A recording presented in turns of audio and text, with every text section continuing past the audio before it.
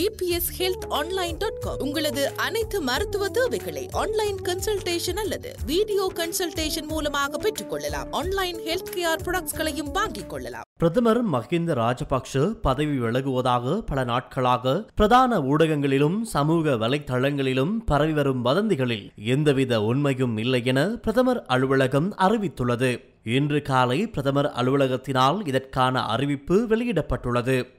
நாட்டு மக்களை தவறாக வழிநடத்தும் இத்தகைய பொய் பிரசாரங்களை வன்மையாக நிராகரிப்பதாக பிரதமரின் ஊடக செயலாளர் ரொஹான் வெளியிட்ட அறிக்கையொன்றை வெளியிட்டு இதனை தெரிவித்துள்ளார். அனைத்து செய்திகளையும் பார்க்க லங்கா ஸ்ரீ நியூஸ் சேனலை சப்ஸ்கிரைப் பண்ணுங்க. உடனுக்குடன் பார்க்க வேண்டுமா? அப்போ கீழிருக்கும் பெல் பட்டனை கிளிக் பண்ணுங்க.